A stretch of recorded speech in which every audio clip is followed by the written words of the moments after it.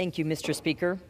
I rise today to recognize Ben Kueter of Iowa City, who took down Hempstead's Joe Lewis in a technical fall to win his fourth state title in wrestling, only the 32nd time in the history of Iowa State wrestling tournament. He's also the seventh to complete an undefeated high school career with an outstanding record of 111 to 0 with 105 career bonus point wins.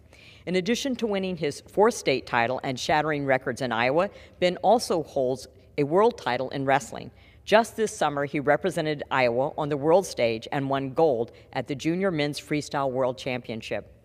An all star athlete and senior at Iowa High City High School, Ben excels in more than just wrestling. He has also been a star member of the football, baseball, and track teams.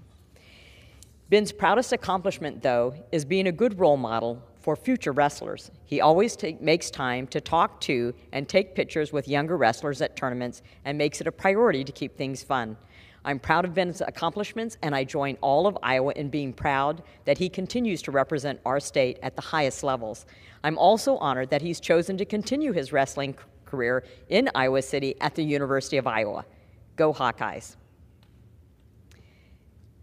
Today is also TCU or Texas Christian University Day at the Capitol in Washington, D.C. As an alum of Harris College of Nursing at TCU, I want to welcome TCU to Washington State. As long as TCU is not playing an Iowa team, I can say, go Frogs. Yesterday, February 26, the Wall Street Journal released another article about the origins of COVID 19. This time, the Department of Energy has acknowledged that most likely this was a lab leak from the Wuhan Institute of Virology. I remember having a hearing here in the Capitol with the Select Subcommittee on the Coronavirus Pandemic, at which we discussed the origins of COVID 19. We were derided, we were ridiculed, as have other members of Congress. I think it's important that we recognize there is such an importance for free speech, and especially in healthcare and in medicine and science, that a debate is what needs to take place, and that we should be careful in who we chastise simply because we don't like the political party that they represent. It was no conspiracy to acknowledge that there was not furin cleavage sites normal, that there were doubling of amino acids, and that there was gain of function research that had been funded indirectly by the United States government despite a prohibition on gain of function research.